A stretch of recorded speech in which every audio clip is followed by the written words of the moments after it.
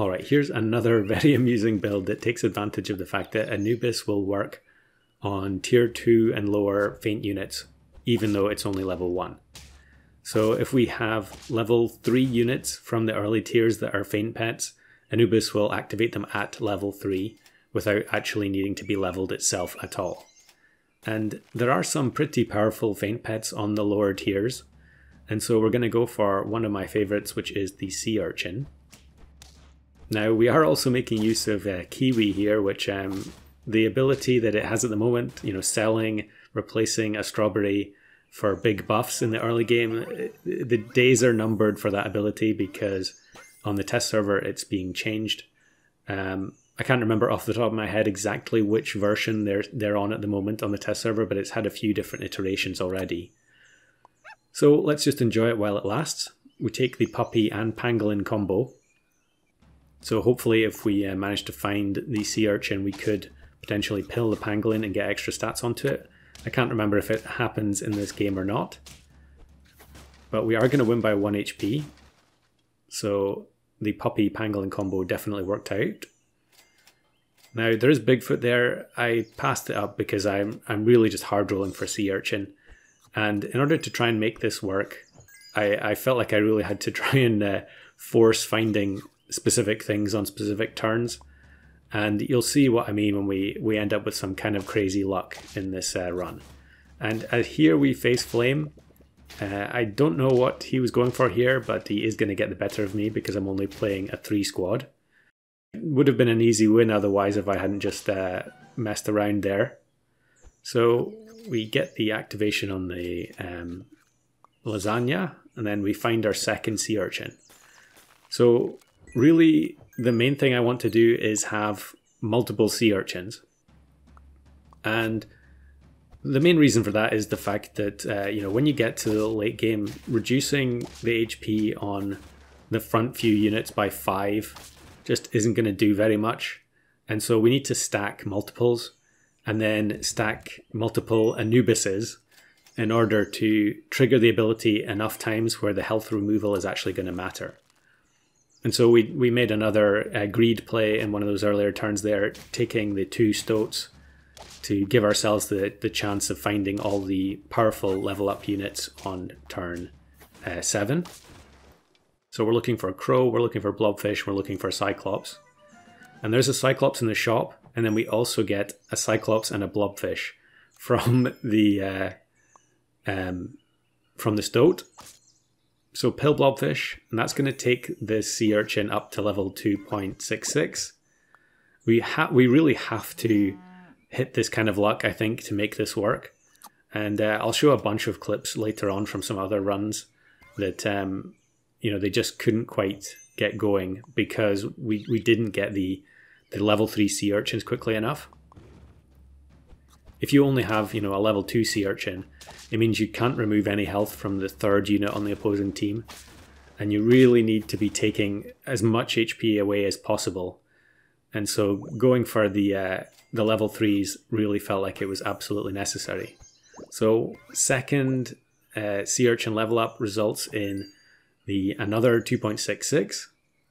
And I think I'm going to take the chicken for one turn after I pill this blobfish.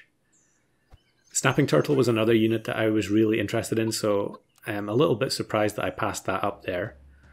Um, but we faced this uh, Chupacabra team. Thankfully, we um, prevent them from uh, getting any activations there. The Sea Urchin's going to reduce the stats and then Mana Snipe as a result of the Cyclops. And we, we get the win by 1 HP. Bit of a desync error there. Now I don't want to level the sea urchin here because of the Cyclops, but I, I feel like, am I going to do it anyway? Yeah. It's really frustrating to feel like you're wasting the Cyclops buffs, but we honestly don't have space on the team anyway. Plus, we know for a fact that Anubis doesn't need to be a higher level. So you kind of have to fight your own instincts there to, um, you know, just take the buffs from the Cyclopses. It's plus 2 2 plus the 4 mana on top. And that could end up, you know, saving you like it did in the previous battle against that Jerboa team. Um, definitely fine here. I think given we've had these crazy level ups, we are a little bit uh, ahead of curve. But you know, there's plenty of opponents that could still destroy us at this point. Lemon, am I going to take lemon? Yeah, definitely get some kind of equipment on the sea urchin. And, and skewer was my preference, as I was mentioning, but you know, I think it's definitely worth it to take the lemon in this situation. As we immediately go against Pineapple Tiger Bug. So the lemon's going to absorb some damage there. And uh, yeah, we, we have the stats plus the skewer to finish off this team. But it's now we're now on turn 11, seven trophies, and we don't have any Anubis on the team at all. And that's really the crux of this whole team. So we buy the uh, lemon just for snipe protection. I still do want to have a skewer uh, on the team. We don't find any uh, Anubis in the shop, so we'll just use the cat to get extra health. And uh, level 3 Tabby Cat. I don't know when the last time I saw a Tabby Cat on turn 11 was, but uh, clearly this person going for the achievement with the, uh, the octopus and the lioness is there.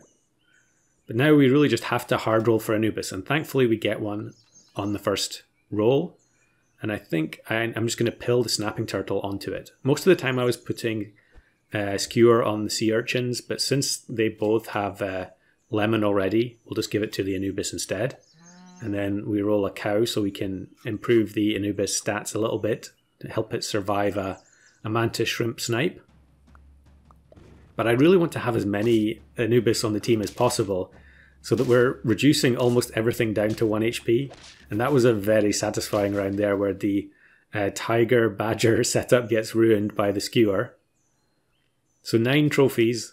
We need to find at least one more Anubis on this turn for me to be satisfied with this build. And there it is. Now, could we find another one? We actually do. Plus, we get the uh, oyster to enable us to buy this lemon onto the Anubis at the back as well. So triple Anubis, double level 3 Sea Urchin. And look at the stats. We, we go against level 2 Behemoth. We're going to reduce the Wombat and the Eagle down to 1 and the Behemoth down to 2. The Melon does prevent them from getting one shot there. But I don't think it's going to matter. Because we actually bought one Foo Dog and had chicken for one turn which means that the Anubis has 7 HP and results in a 1 HP win. Incredibly lucky to get away with that, um, but I was very pleased to get the win in the end. So here are some bonus clips. There's a really bizarre 3 squad on turn 8 there, clearly in the process of a Jersey Devil pivot.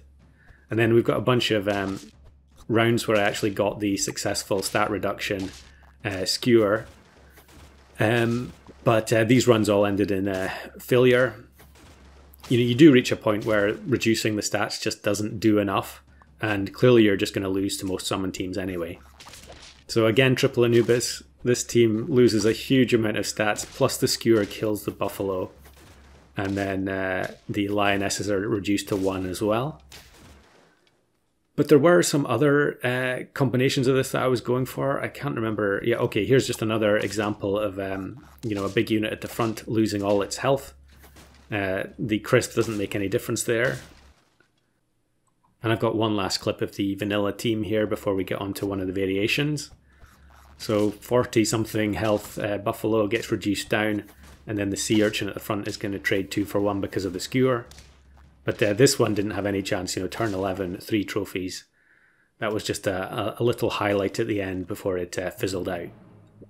So here is one of the variations that I was trying to go for. We actually have the level 3 Anubis this time, which isn't necessary for the sea urchin, but it is for the mammoth. I'm not sure why I was freezing the anglerfish. Uh, maybe I'd seen something interesting on another team that I wanted to steal, but yeah, probably not a smart move there. But the Great One resummon with the Pteranodon actually removes their Jersey Devil here. And I think that's going to be enough for us to eke out a draw. Uh, the one trumpet turns into a 10 7 doggo, but with 11 HP on the Anubis at the back. We scrape the tie. And yeah, I did try a, few versions of this with Flying Squirrel to try and keep the evil book alive. But in order to do that, you need the Flying Squirrel to also be level 3. So in the end, I settled on just trying to, um, you know, get lucky and roll Bad Dog, which is another reason I shouldn't really have the Angler frozen here. So a, cl- a classic team in the current version: Rabbit, Hippocampus, um, Behemoth, and I think we're just not going to quite have enough here. Yeah. Obviously, units at the back, they're not going to lose any stats from uh, Sea Urchin. So, um, yeah, we can't get that one done. So reset the uh, Evil Book. Now here, I definitely make a mistake. I should just take the Anubis in the shop and put it up front because then we activate the Sea Urchin again. But for whatever reason, I leveled the Mammoth instead. The Mammoth is actually going to get sniped here and pulled forwards. So you get a weird situation where the Pteranodon resummons the Mammoth in the back and it gives buffs despite being in last position. Pretty unusual to see that. And we end up winning anyway. So I think level 3 Sea Urchin, yep. And yeah, I don't know why I have the two anglerfish frozen. I, I must have gone against someone who had a token pet and I was just uh, trying to steal it, but honestly, I think this team would uh, not suit having a token pet in it at all. So we'll just keep buffing our two lemon units and hope that uh, that helps us get through. But um, we're on one heart, and yeah, we end up facing, you know, huge uh, scaling team with only a single sea urchin. We just can't reduce the stats on the jellyfish enough. If we had two uh, sea urchins there, the jellyfish would have been reduced down to a point where we could have actually KO'd it. But instead, um, yeah, that run ends up failing on turn 15. Honestly, it was pretty lucky to get that far in the first place. Here's another one with a triple Anubis plus these sea urchins. And we have the great one comes out, but bizarrely the crane had pepper. I feel like pepper is pretty rare um, in, in customs compared to melon, uh, but uh, we ended up winning regardless.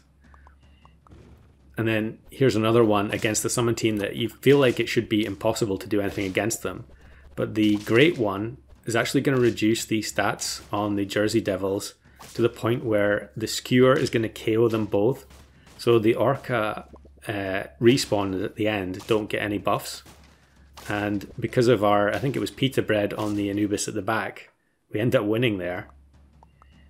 Then next one, here's one where I ended up with a dromedary that I ended up having to keep for the whole game because of the stats, but I actually mispositioned. So the great one didn't come out at the start of battle. The uh, um, the urchin should have been one space back, but it doesn't make any difference. We end up winning anyway. And then here's level one evil book versus level three evil book, and uh, they they actually kill their own units. Um, and it's a, a comfortable win in the end as the second great one appears. So, an incredibly fun team to play, even if its power level falls off towards the end. Do let me know in the comments if you managed to do anything with Pteranodon Evil Book as well.